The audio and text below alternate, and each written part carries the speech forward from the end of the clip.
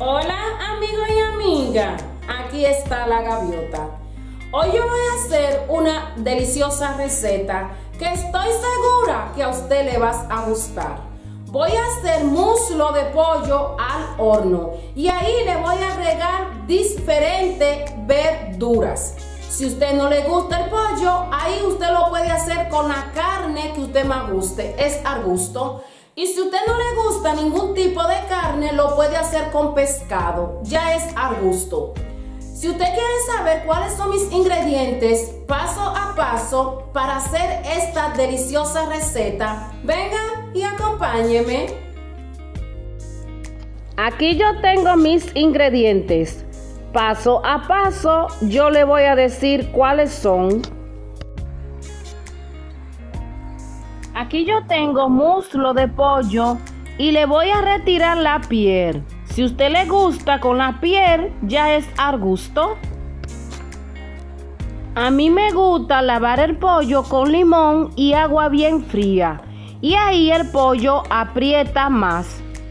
Ahí con un cuchillo voy a partir los muslos de pollo. Si usted le gusta entero, ya es al gusto. Berenjena.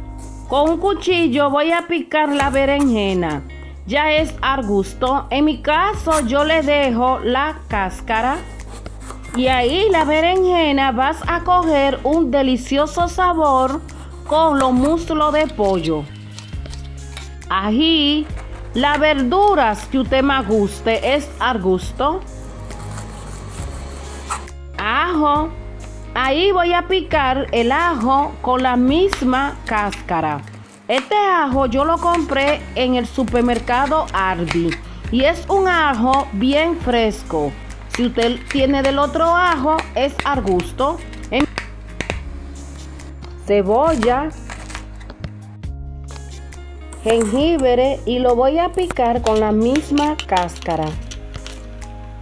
En una bandeja voy a colocar papel aluminio. Sobre el papel le voy a agregar aceite de oliva. Ahí voy a pasar los ingredientes. Ají, berenjena, cilantro verdes o perejil.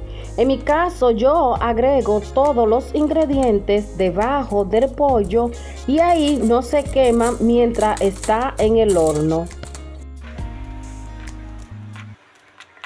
Jengibre y ahí le da un toque bien delicioso a la carne. Ajo, cebolla o cebollín verdes. Ahí voy a agregar los muslos sobre las verduras. Le voy a agregar orégano y ahí el orégano le va a dar un sabor bien delicioso a esa receta. Le voy a agregar vino blanco y ahí le va a dar un delicioso sabor. Se lo voy a agregar en todas las orillas y sobre el pollo. Le voy a agregar salsa de soja o de soya. Si usted quiere le puede agregar sal o sazón, el sazón que usted más guste. En mi caso solamente lo voy a hacer con la salsa porque ya viene con suficiente sal. Páprica Pimienta, en mi caso me gusta usar pimienta en mi receta. Le voy a agregar un chorro de aceite de oliva sobre el pollo.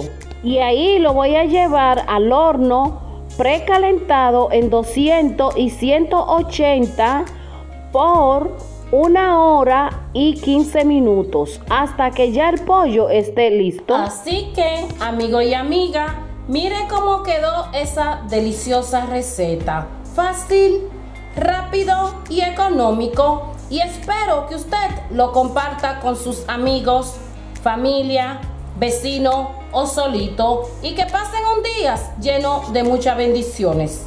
Que Dios me lo bendiga y hasta el próximo video. Bye.